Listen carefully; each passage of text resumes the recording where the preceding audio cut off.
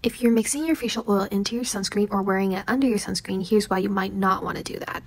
Mixing your sunscreen with anything can lower the SPF level, and facial oil in particular can break down sunscreen in a similar way to cleansing oils.